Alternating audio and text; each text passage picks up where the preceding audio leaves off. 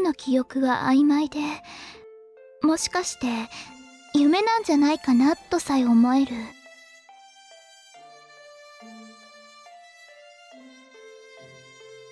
月が赤い夜は外に出ちゃいけないよ。魔女に呪われてしまうからね。そんなおとぎ話をよく聞かされたっけ？5年前の月の赤い夜。私たちは外にいた。まるで何かに誘われるように外を歩いていた。そんなに歩いていないはずなのに周りは知らない景色だった。不安で泣きそうな私を姉さんはずっと励ましてくれた。ふと前を見ると赤い月に照らされて誰かが立っていた。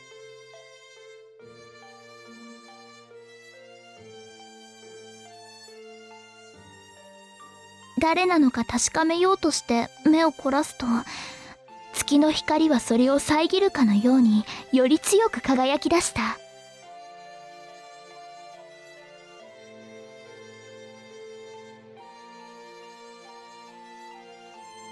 気がつくと私たちはいつも遊んでいる見知った森の中にいた。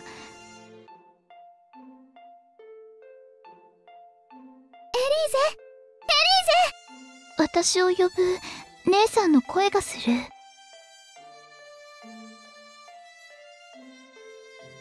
私は恋のする方を見た。そこには心配している姉さんがいるはずだった。透明で光る羽小さな体。可愛らしいフェアリーがそこにいた。これが魔女の呪いなのかな？